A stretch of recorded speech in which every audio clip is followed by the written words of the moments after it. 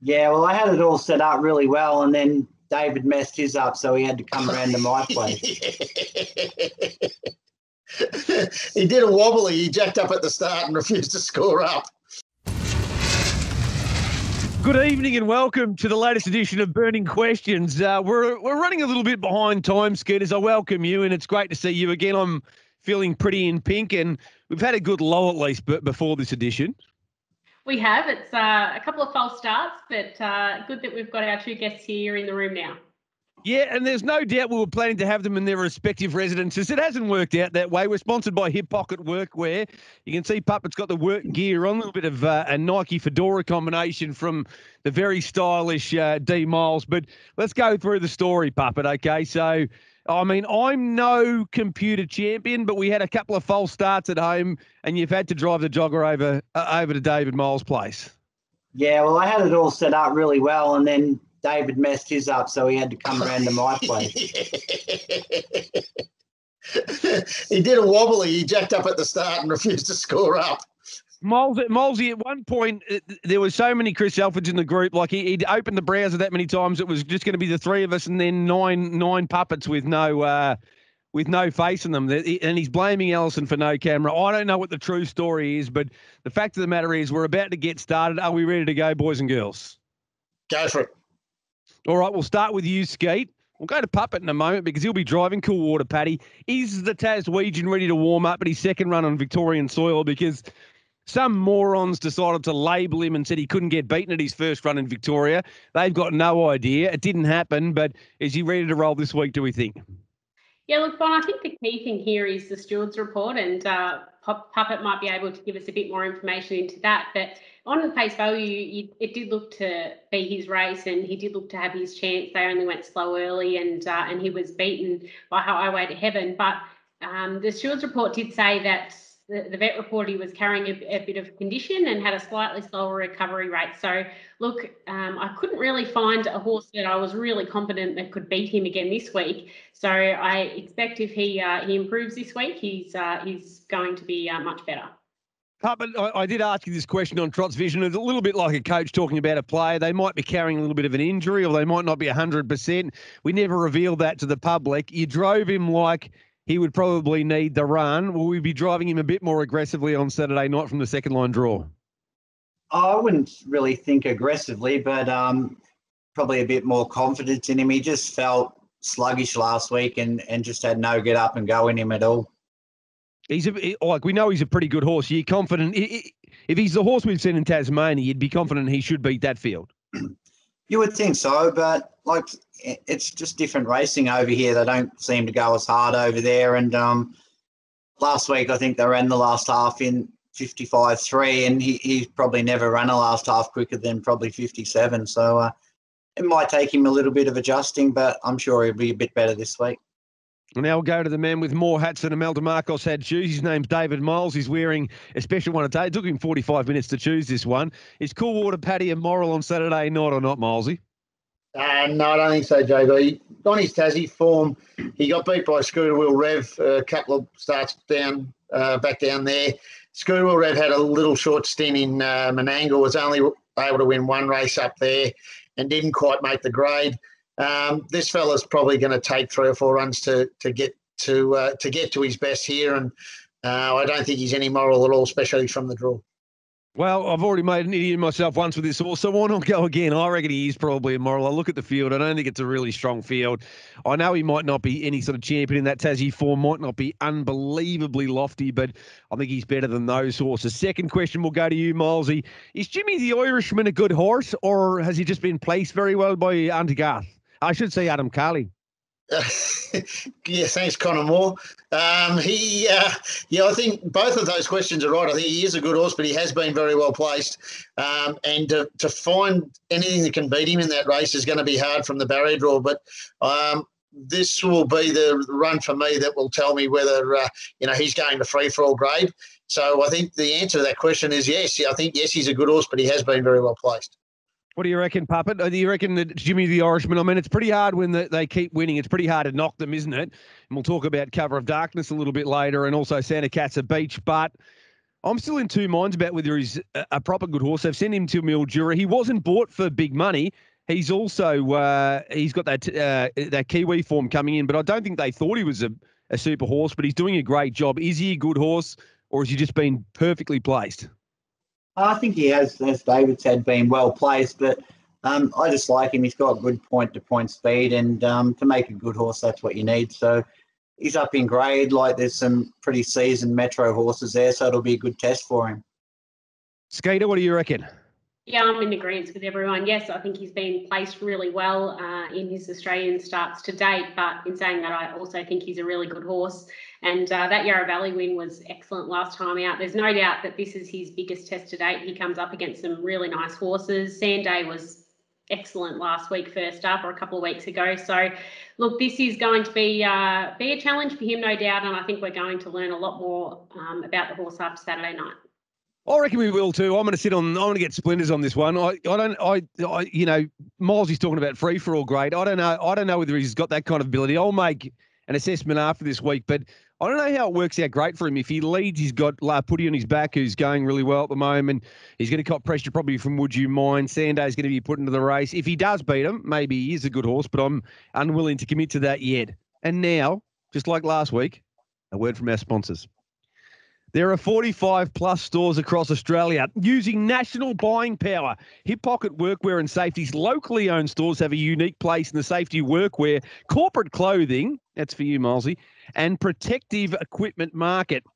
From the work site to the office, hospitality, healthcare, sports uniforms for us to play golf in, to me get beaten by uh, uh 30 strokes, corporate wear, and much, much more including embroidery, hip pocket workwear, and safety, have you covered. We'll get our hip pocket workwear very soon to deck the participants out on burning questions. Next question for you, Skeeter, will start. Santa Casa Beach, can he continue his stunning ascension here? Not many horses go from starting their preparation in a Metropolitan Maiden to going up to a near free for all at start number four in that same campaign. Can he keep going? Can the ones keep going next to his name? Yeah, I think he can this week, Bon. Uh, obviously, I think the draw and uh, the, the horses drawn inside him probably help. I think he'll be able to um, to find the top pretty comfortably. My only slight concern is how much pressure he tops from the outside. Um, if Vandanta comes up and also always fast, um, you know, you've got to have a lot of respect for that horse, even though it didn't go to plan uh, first up. But I think if he can find the top and uh, isn't pressured too hard throughout, there's no doubt he's the horse to beat in my mind. Well, Papa's looking at the fields there. He looks like he's asleep because he's looking down through the glasses. He caught a couple of other drivers napping last week. Jason Lee and Jimmy Herbertson. He caught them asleep with Max Delight. What are your thoughts with Santa Casa Beach? It's not an easy thing to Papa to keep winning as you're going up in grade this quickly like you are now. But the race seems pretty good for him because I think he's the leader. And if he is the leader, I don't know where the pressure comes from. Yeah, it does look that sort of race. And as you said, he's racing well. I thought he probably could have won a little bit easier last week with the run he had. Um, but in saying that, like this race, there's no sort of genuine free for allers in it that are racing at the top of their game. So uh, if he's going to measure up to the top grade, he's going to have to win this one pretty easy. Yeah, I, I reckon that's true. He will have to win probably because I don't think he's going to get pressure. There's no obvious enforcer there, Milesy, but um, it's a pretty it's a pretty stiff sort of challenge to put to a horse, as I say. Fourth run in this preparation after starting the campaign at MO level to win a race this good, but it does seem his kind of race. What are your thoughts? I disagree. I think there's plenty of pressure there. I think Vandana will cross him early. Always fast gets a get goes across with him. And if it doesn't get the top off Vandana, then he's going to be three wide in the last lap with some pretty serious horses behind him. Bonsell Benjamin, Rackham up, Tiger by Shadow Sachs, who are all been racing a much stronger level and they're down in grade. Um, I think he's going to have to do a bit of work, and if he does, we he will uh, we'll find out how good he really is we used to have a bloke named Blake Redden work with me, and I called him a contrarian. Well, Miles, he's just he's playing devil's advocate. He's just trying to smash me from pillar to post here, disagreeing regularly. So you reckon Van Danner will cross him at the start? I think Van Danner will cross him, and if always fast scores up and behaves himself early, I think it could cross over with it. That leaves Santa Casa Beach, you know, either having to do a lot of work to get back around if always fast doesn't get the top, or sit outside him. And then, as I say, he's got some strong free for allers. If he's got to do and there's a 43 lead time and he's out and doesn't get the top, it's uh, he will be a sitting duck for something. And uh, he's been super. I thought his run where he sat parked two runs back, I think it was, it was absolutely sensational. But he's uh, this will be the uh, the testing material this week. Yeah, I've got no doubt about it. And if your map works out, I'm going to jump out without a parachute. Let me tell you, I don't want to be anywhere near him at that point. I've just got him leading and getting a soft lead. But if Van Dander crosses, I'll be jumping out of the plane straight away. Puppet, you'll be driving a pretty exciting horse. And Nikkita Ross, who is like uh, Andrew Denton with her research, she's got a pretty good stat about Cover of Darkness and trying to win a free for all so early in a, a horse's career. Is he our next square gaiting superstar? Um, well, this week could be the you know, the uh, make or break. But um, just from that drive I had on him, he, he felt like a really good horse. Uh, do you think he's two things? What, what, can you do with him early? Because I've got him in, but I don't think he, you're not going to use him up too much early because he's a pretty frisky sort of a customer. So do you think you can balance him up and you'll still find the top, or do you not care that much?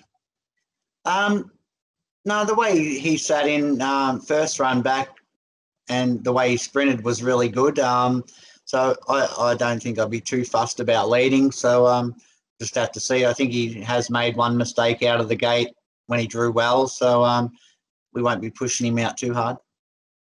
What do you reckon, Molesy? I mean, it's a very, very good race, but some class runner. Sparkling Success is back somewhere near his best, but draws outside the second row. Cover of Darkness. If he is going to be our next square gaiting superstar, he'd probably want to win this race, but I've got a pretty good feeling he will. Yeah, he didn't doesn't seem to be trotting super smooth either. Even when he went last week, he still has a little hitch in his gear for mine. But when they smooth that out and he, he balances up, I think he could be as good as any trotter in the land. Um, but he's uh, I'd like to see him just trot a little bit smoother before I'd be declaring him that way. But even the way he trotted last week and over the short at Melton, it's always hard to win off the back row over the 1700.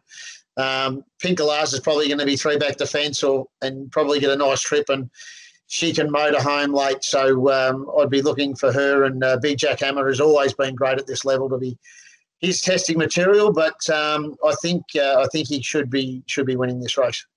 Well, Twenty-six dollars about Big Jack Hammer, and he's clearly the best roughie in the race. Four-time Group One winner, twice over the short. Give us your stat now, Skeet. You've done the hard work. You have the floor. Tell us what you know. Now, I must thank uh, Tim Belfrage for this one. He looked into it for me. But uh, if Cover of Darkness is to win this weekend and take out the free for all, he would only be the third horse and the first trotter uh, to win at his win a free for all at their 11th start. So both Black Cam and Ride High won free for alls at their 10th start or 11th start. Sorry, um, and that is what Cover of Darkness is trying to do this weekend. Look, I think he's a, a, super, super exciting horse, as everyone else thinks. I just still get a little bit nervous when he's trotting. I don't know why. There's just something that makes him makes me a little bit nervous about him. I think because maybe he's a little bit highly strung, but there's no doubt he's got uh, an enormous amount of speed. And if he can win this weekend and beat some very nice rivals, albeit uh, you know a lot of them have bad draws over the over the short trip. I think uh, he's going to stamp himself as uh, a definite top liner in uh, in the not too distant future. I think he probably is our next square gaiting superstar. I'll tell you who probably gets most nervous when he's trotting. You puppet, um, sort of just holding him together and, and, and keeping him in gait. Uh, what's what, what's the trick when you've got a horse that's pretty highly strung like he is? Um, I just found um, go with him in the warm up and just keep him nice and happy. And uh, Clayton said he, he's never trotted great. Um, but he never seems to break. So I wasn't really that fast. He said he corners really well and then just gets a bit crabby up the straights. Well, eh, eh, eh, that's that that is strange, isn't it? I mean, most of them don't handle that last bend at Melton. He just he's cruising around the bend and says, "I don't want to do the right thing when I get on the straight and narrow." Who's your best bet on the card, Skeeter? It'd be the same as mine, no doubt. I might as well just say mine first, and you can agree. Uh, it'd be interesting to see this week, Bon, but I'm going race six, number ten, Yolanta uh, this week. She's been racing really well, and I thought she looked the class runner in that field. Uh, Five dollars, I was happy enough with that. I thought that was uh, pretty good value for her. Yes, she's off the second row, but uh, her three starts recently have been fantastic, and she has uh, has got the job done as being a best bet from burning questions before. So fingers crossed for Yolanta on Saturday night. Uh, D Miles might have something to say about that. You've got a few runners across the course tonight. Most of them are going to get better through the course of their preparations. A, what's your best? And B, what's the best for the night? Um, my best for the night, as far as our own horses, I thought Jamison Steel was really good last week from a bad draw. Uh, we get used young Jaden Barker to get the claim this week, and he's drawn two on the second row, so he should get a uh, he should get a really nice run, um, and uh, he'll be finishing on you know really really strongly. We just need a little bit of little bit of high speed, um, uh, but um, and I just put him down as an each way special. That'll be my best for the night, but as long as you bet each way. How are you going to beat Struve? He doesn't let horses go past him. Uh, well, J- Jamison Steel is, and Struve are probably about the same class, and we're we we probably a run short. But I uh, I do think that uh, if uh, if they he has to do any work, we'll be uh, we'll be the one finishing off at the end. I, I, I don't know what, what he needs or what he doesn't need. Who's your best for the night, puppet of your runners, and who's the best? Um, I think Sahara Sirocco. He was really good first up, and he'll be greatly improved from that run. Is that the same race? Mm-hmm. It is. Well done, and, Don. This, this, is really awkward because you're sitting next to each other and all the rest of it, both with different hats on and all. Like, uh, this is quite awks. But we had this the other week, and Andy got the better of Jason Lee. They had the same in the ra- same race last week. Captain Belisario and Lamandiere. Uh, it's been great fun getting stuck into burning questions again. Did you give us your best outside your own runners, D Miles, before you before you start day drinking or playing golf or doing? Uh, no, I, I really like Jamison Steel each way. I think if the punters back him each way, they can't lose. All right, my final thoughts on uh, on our final question. Now, the cover of darkness will win, but and I, I definitely think he has, he's an ex square gaiting superstar. But uh, look, if he does something wrong here, I'll still have the same opinion, even if he gets beaten. Uh, Puppet, are you going to stay with Molesy for a bit now and, and have a couple of drinks and enjoy the day, or are you going straight back home?